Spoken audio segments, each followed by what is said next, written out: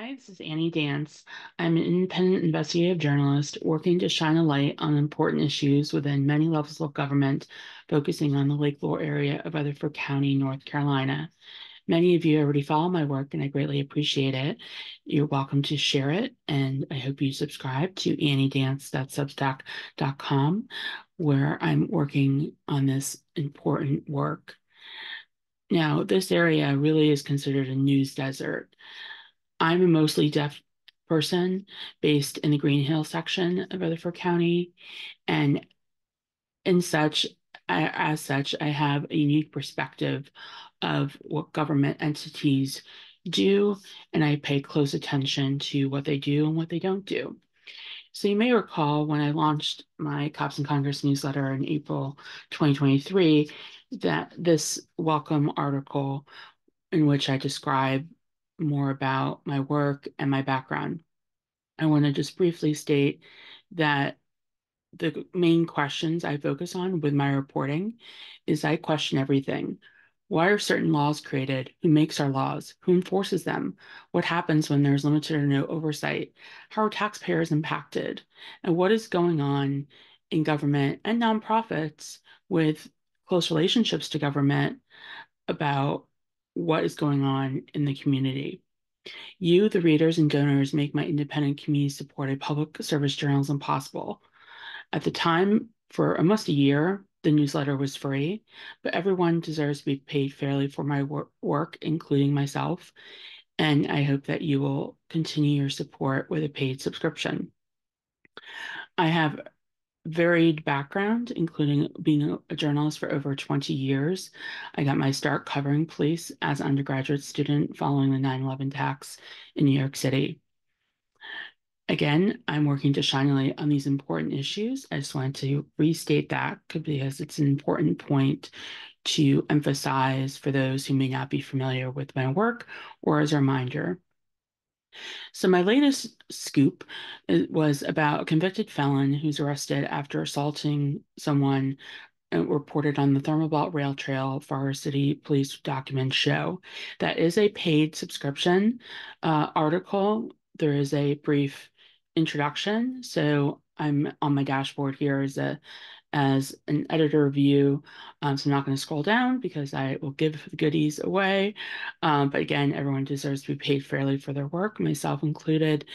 And really, just to reiterate the point of this was a random attack according to the public documents, and the uh, suspect was immediately arrested by Forest City Police. A situational awareness, an exclusive or scoop, is an important news story that is first reported by a journalist. This goes beyond breaking news when no other journalists are known to be reporting on an important issue. You can also read six reasons to support my independent journalism work. And here's a picture of myself, my dog, and my brother, my parents' dog, on the Thermal Belt Rail Trail recently. So you could read more about that, but I wanted to highlight that and give you a, more of a background on the Thermal Belt Rail Trail and other past incidents because there's some misinformation out there that I feel needs to be cleared up. So thermalbeltrailtrail.com has all the details you need about the rules and trail safety. They state that um, firearms and other weapons are prohibited, but concealed carry permit holders under North Carolina law are allowed no horses, no loitering, no posting signs without permission, no motorized vehicles allowed, no hunting. You are allowed to bring cats and dogs on a six foot or less leash. And the hours of operation are dawn to dusk. It states under trail safety for emergencies, call or text 911, include your location and nearest cross street travel on the right, pass on the left, get all, give audible warning before passing. So I bike quite a bit on the trail with my dog, and I find recently, especially, um, I'll go into more detail about that, but let me finish um, reading this just briefly. It states with the trail users of the trail, users of the Thermal Rail Trail do so at their own risk. The towns of Ruth, Rutherfordton, Spindale, Forest City, the County of Rutherford, and Rutherford Railroad Development Corporation are not liable for any injuries or accidents occurring during use of the trail, it states. By using the trail, users release and waive said entities from any liability whatsoever that may arise during the use of the trail. So that's an important point to keep in mind. It also says watch for official motorized vehicles like government emergency vehicles performing occasional maintenance or matters of public safety. I've when I've used the trail, I think I've only seen um, road or the grass being mowed perhaps once. I generally generally don't um, bike you know, during the heat of the day, so typically I'm there in the evenings.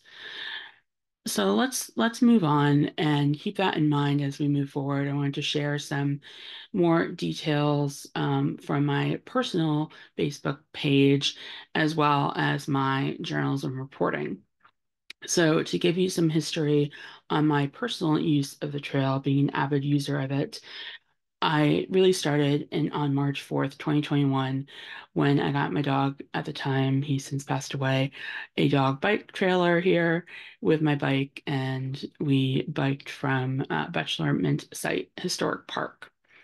Now, because of my, um, and here he is later, further down the trail uh, in Forest City on the bridge.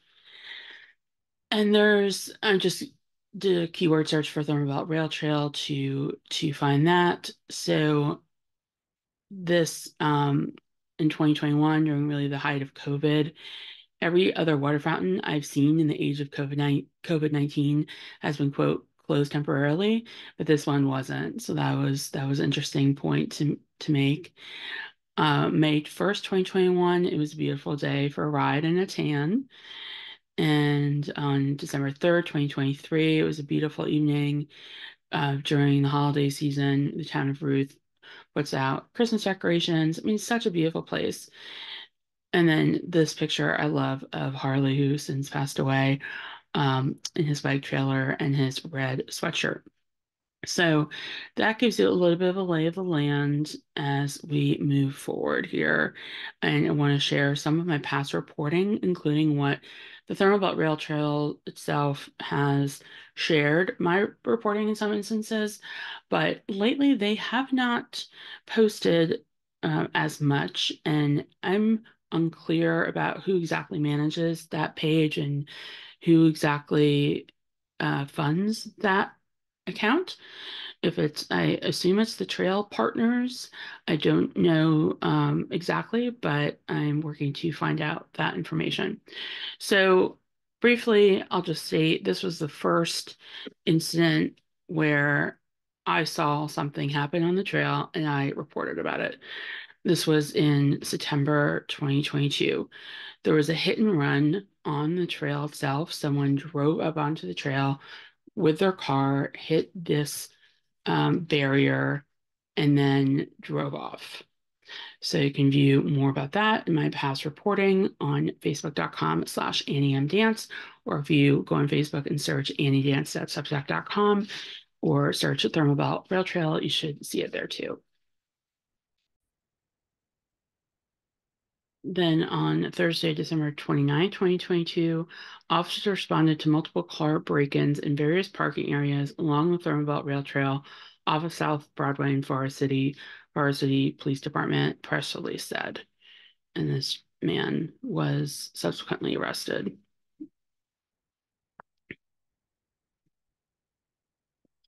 Then in fast forward to May 31st, 2023, there was vandalism and graffiti on the trail.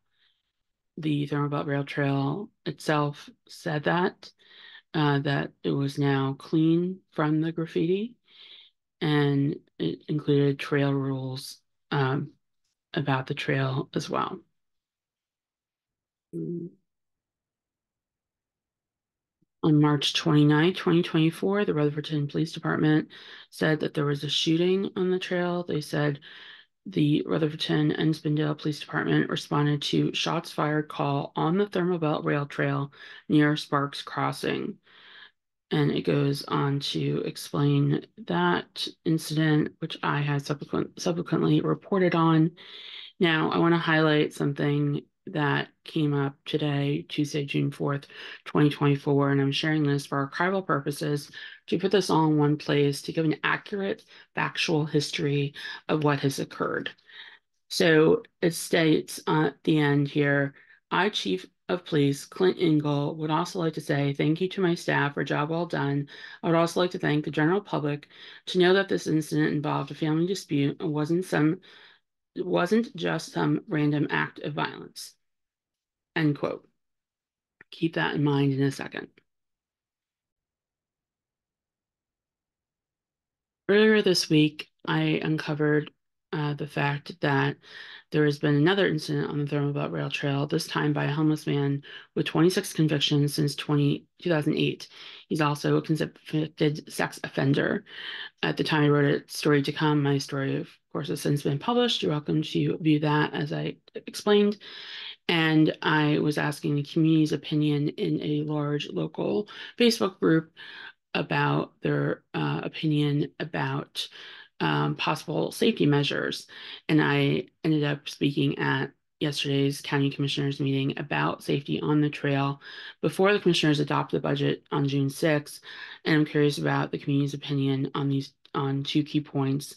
And I created a poll, uh, which I wanted to share with you here because it is a um, a private group to my understanding is they did that to minimize spam and you'll see that my personal profile created the poll here, but I also have it on my journalism page, which I'll share in a minute too, uh, to give you an accurate, uh, factual information here of how people are responding to um, public safety issues, and also some dissenting opinions, including from Rutherford Outdoor Coalition Executive Director Jerry Stensland. More on that in a second. Keep that in mind. So, first, surveillance cameras. You'll see 29% of people with 118 votes um, support surveillance cameras. So I'm just going to scroll down here for a factual archival history, including David Guy, who is the mayor of Ruth. He supports them and many others as well. Nikki Ellenberg, Sheriff Ellenberg's wife. And just so many people. It's been really incredible response to to my question again, I question everything and I really want an accurate portrayal of factual information. And that was my purpose in creating this poll. And secondly, more police patrols, uh, 100 votes, 25% of people. And again, I'll, I will scroll down to include that all. I think for my perspective, it's very difficult with the limited staff that the I know that the sheriff's everyone every law enforcement agency, but particularly the sheriff's office has. So I feel that um, surveillance cameras would probably be the best bet for a good first step, in my opinion. But again, who's going to? There's a lot of questions, of course, that would surround that, but it's unclear where if those if if any of that is going to be funded is is unclear. It's nothing has been um, discussed publicly. Someone said actively monitored cameras with police lights or sirens that can add that can turn on at the incident area. Uh, that would be that was this gentleman's suggestion with 86 votes at 21%. Again, I will scroll through them all here. Then Jonathan Hanson wrote transport homeless to county line, 8% of votes, 28 votes here for that.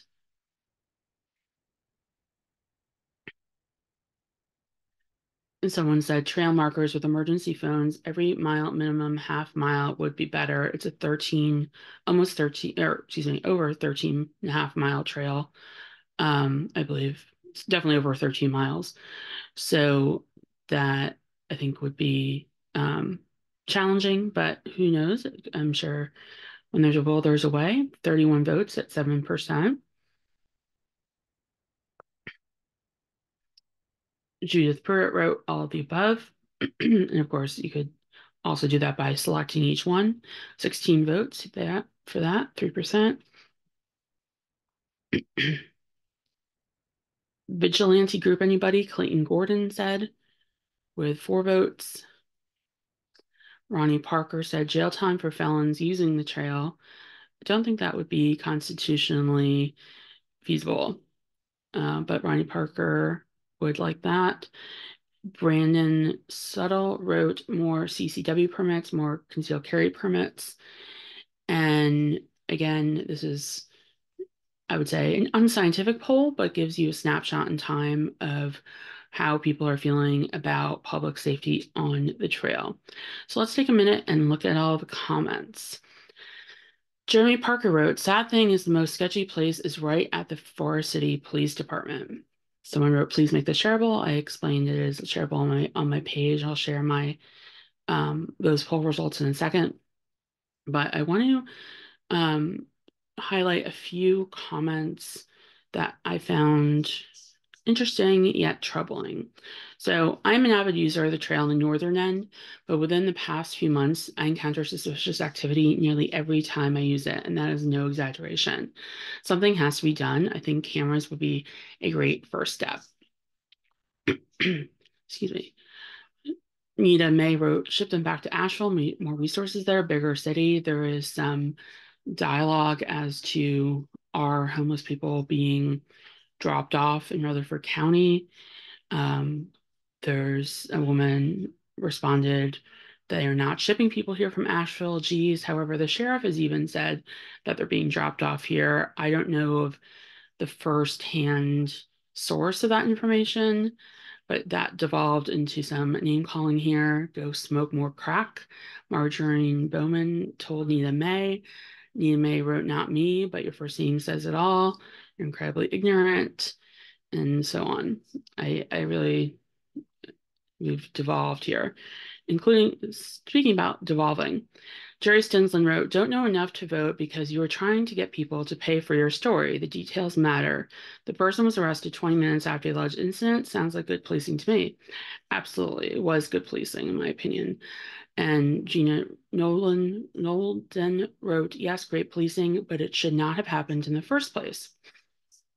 Jerry Stensland wrote, but we don't know exactly what happened. So I replied to him, I'm a journalist. Don't all journalists deserve to be paid fairly for their work? Now, this goes back to a past post that I commented on. Um, someone asked about biking in the community and indicated they were having difficulty. If I can find it, I'll share that. But um, I want to dive go too off in the weeds here. But Jerry Stensland has a unique perspective because he really has championed the creation of the Thermal Belt Rail Trail and helping it get built and has a very long history in doing so. So I'm sure that this kind of information to is not I, I report facts. I will leave it there, but let me read through this dialogue. So I wrote, I'm a journalist. Don't all journalists deserve to be paid fairly for their work? You replied, for good journalism, yes, but based on the last story you covered on the trail about the family dispute that led to a shooting that had nothing to do with trail users, I can't trust your coverage. You and the police made it abundantly clear it had nothing to do with the trail, and yet you continue to mislead people. I replied, the police said it happened on the trail. I report facts. Please check their press release for details. I find it very troubling that you feel the need to embarrass and harass me, especially since you are the executive director of Rutherford Outdoor Coalition, combined with your experience with Foothills Regional Commission and experience as a journalist yourself. I feel your time would be better spent advocating for safety improvements on the Thermal Belt Rail Trail. You're welcome to view my remarks to the county commissioners last night about the need to fund such safety measures. Jerry Stensland tried to quote the press release and did so inaccurately. You wrote, This was not a random act of violence, said Rutherford Police Chief Ingle. This was a dispute between two family members. This could have happened in any public space, like a parking lot or anywhere. I stand by what I said, and it's because of my roles in this community that I feel compelled to speak up when misinformation damages the reputation of a our great community asset. I replied with my article stating the facts. Now, I will play those two things in a second, but just go back to the press release. The press release never said anything about this can happen anywhere. It said it wasn't just a random act of violence, and that's what I reported. If you go to my story, you can read that for yourself. And I even go so far as to go into factual detail about the trail, about its history, about its beauty, about its relevance to the community. But I go where the facts take me. I, I question everything. And I especially question someone who supposedly is a champion of trails, who, in my view, is disputing factual information. So that's problematic to me on many, many levels. It's even more troubling to me that he continues to embarrass and harass me for my reporting. There's a difference between questioning someone's work, which I welcome and invite, and harassing. It's gone to the level of harassment, and that's very unfortunate to see from someone like him. So you can go on and read more information and comments here for yourself from other folks. But the overarching takeaway for me is that people are fed up with crime on this trail. It is a beautiful trail and it needs to have surveillance cameras it needs to have more police and it needs to have people who are supposedly champions of the trail and who are executive directors of the Rutherford Outdoor Coalition, their mission is, quote, to improve outdoor recreation in Rutherford County, NC, including hiking, running, cycling, paddling, and trails.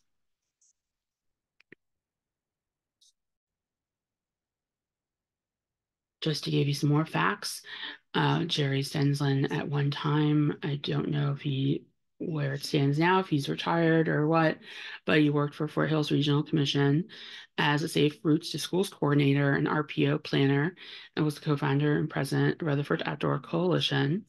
Again, he's done great work in creating, helping to create this trail. It goes thir- over 13 miles through the county, but I really, really question what motivation someone has in that, you know, in that um, position to question factual crime that's happening in our community. The fact is, police are saying it's happening on the trail. That's not a reflection of the trail, but it's a fact. Facts can't be disputed.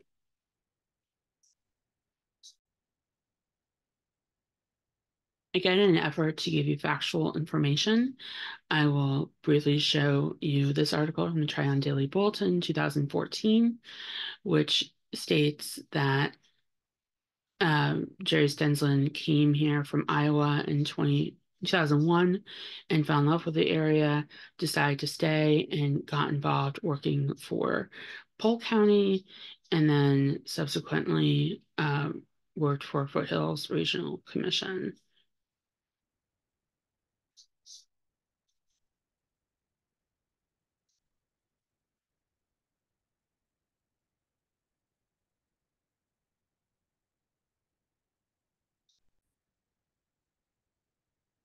The 20, 2022 990 states um, that, again, the mission of Rutherford Outdoor Coalition is to improve outdoor recreation in Rutherford County. So, improving safety, I feel, would be a good advocacy issue for them. It's unclear to me why he's focused on trying to embarrass and harass me and going beyond questioning my journalism, but you're questioning my integrity as a factual reporter.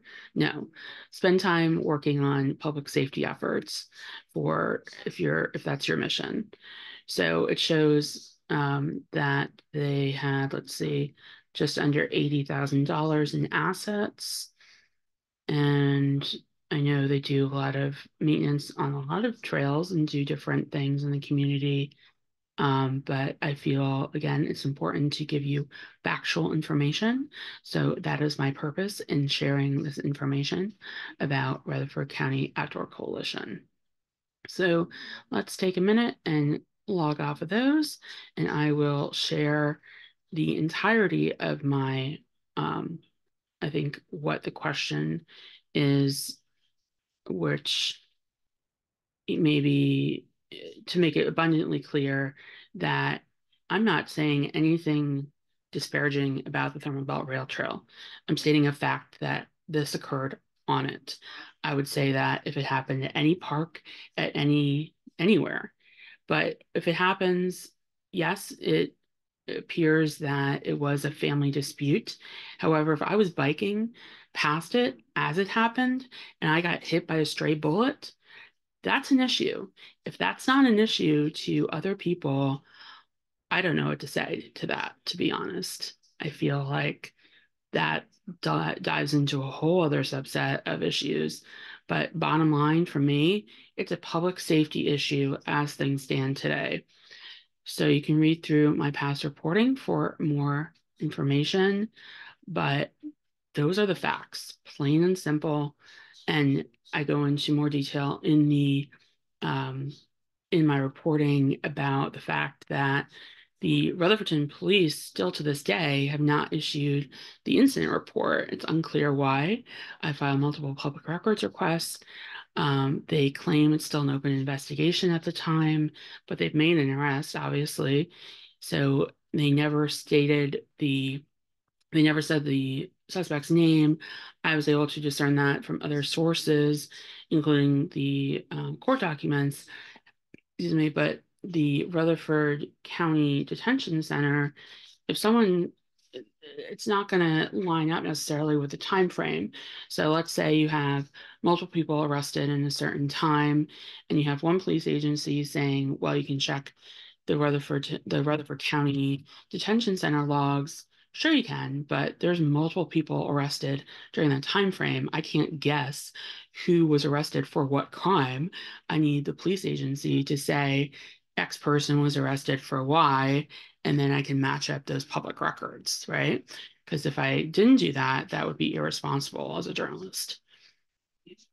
So I go into great detail again in this, um, my past reporting about the Thermal Rail Trail. It's a former railroad corridor, a beloved recreational pathway that winds through picturesque landscapes and historic sites.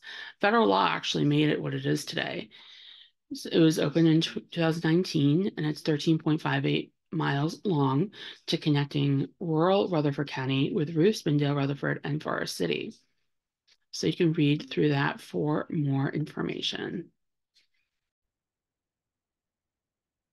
This is almost getting comical to me now. Now, as I'm reporting this live to you, uh, he just commented again. This is like the sixth incident of harassment now stating misleading headline could have had could have just as easily happened on Whitesides Road. And it was 11:30 p.m. long after the trail closes when nobody is on it. So why invoke fear in trail users? Yes, you're correct. The rules state that it's open dawn to dusk. So why was this criminal on it? Okay. Why are, is anyone out and about using a pathway, walking or biking or enjoying public space? Maybe they have to get from A to Z and don't want to walk in the road.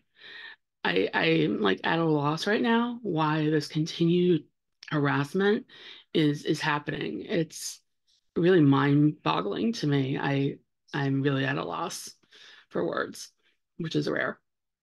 So let me uh, share what I told county commissioners last night at the county commissioners meeting. You are welcome to view it in its entirety on the county's website. Let me rewind here and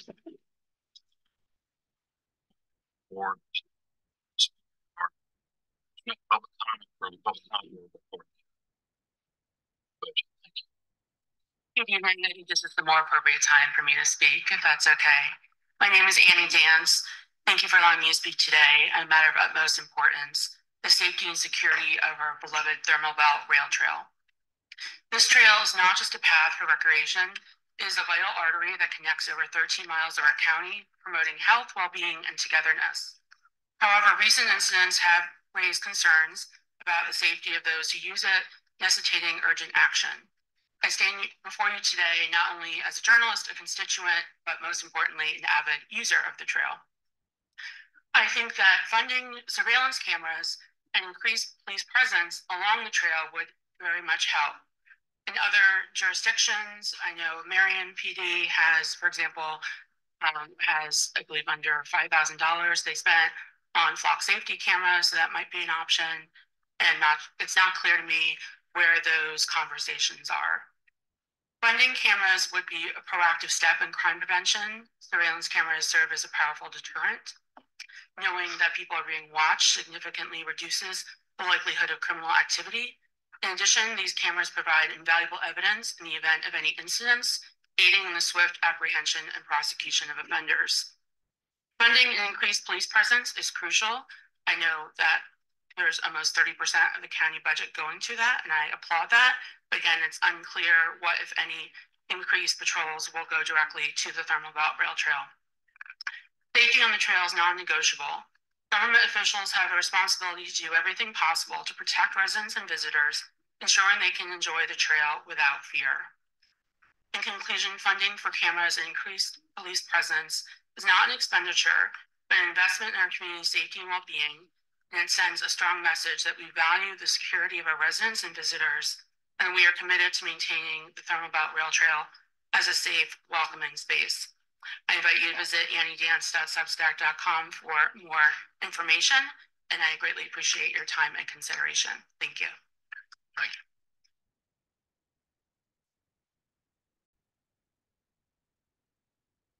So that was last night. And then let's flash back to April 29th. There's a road closure in Ruth now because of the 221 bypass construction. So the purpose again of this video is to give you a full historical archival history of incidents that I'm aware of on the trail and more to come on um, public records surrounding the Belt Rail Trail and why it's so difficult to obtain records. More on that in a minute, but let me share you share this video. Apologies if there's any audio issues. I was doing it, but while biking. Hi everyone. Just to give you a quick update on the side of it.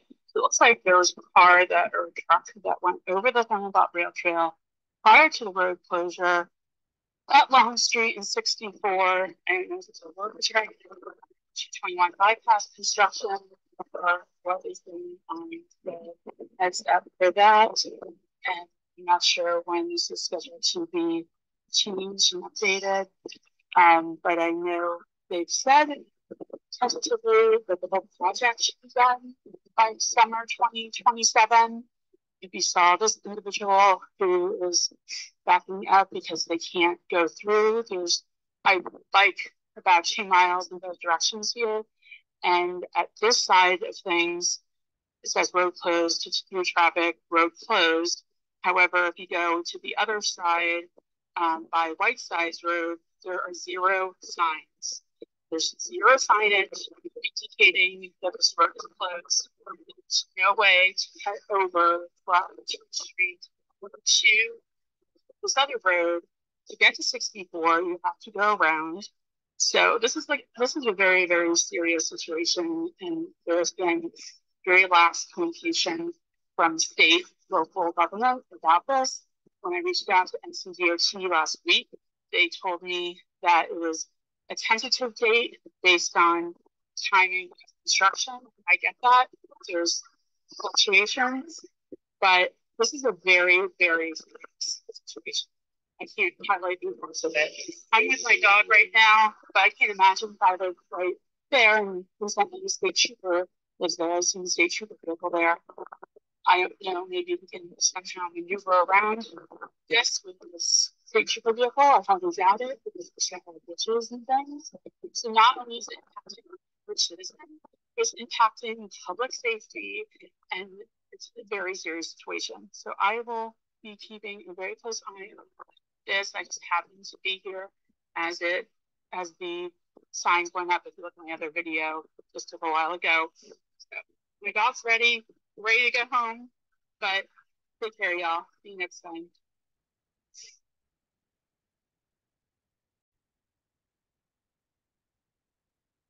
Those are some of the instances I'm aware of. I want to also highlight the fact that I'm unafraid to report the truth. I really appreciate your support. And I want to just highlight and mention the Global Investigative Journalism Network states that each threat and physical attack against a journalist or a member of his family needs to be reported to the police and published.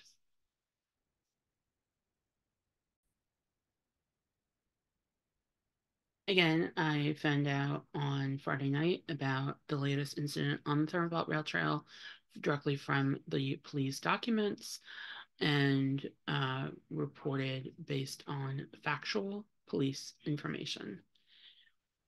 Sprouse is a convicted sex offender who has been convicted on over 20 charges since 2008.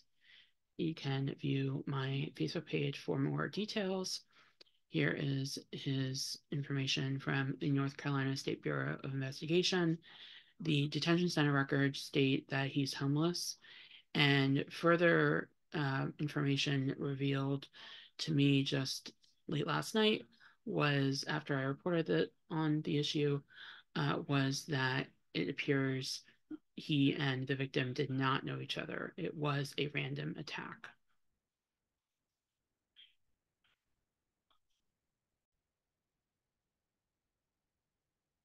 I will never let the voice of a few outweigh the voice of the many and inhibit my ability to report factual information. Independent journalism is a beacon of truth and integrity in today's rapidly evolving media landscape. Cops & Congress is a shining example of this vital work, offering in depth analysis and fearless reporting on issues that matter most in the Lake Lure area of Western North Carolina and beyond. It is a news desert here. That is a fact. I am working to help change that. More on that when my internet cooperates here in just a moment from UNC School of Journalism. Uh, what exactly is a news desert? What does that mean? So the new definition has evolved, but they define news desert as a community, either rural or urban, with limited access to the sort of credible and comprehensive news and information that feeds democracy at the grassroots level. This is both a supply and demand issue concerning local news. It is a supply issue as metro papers cut back rural circulation and coverage, and a demand issue as readers in those areas opt not to subscribe to significantly diminished local newspapers. Just as all politics is local, all news that matters is ultimately local. I, again, am working to help change that. You can view more information on why you should support my independent journalism on anniedance.substack.com. Again, I greatly appreciate those who have supported me and continue to do so. And if you haven't yet, I hope this will give you more factual information as to why you should in the future.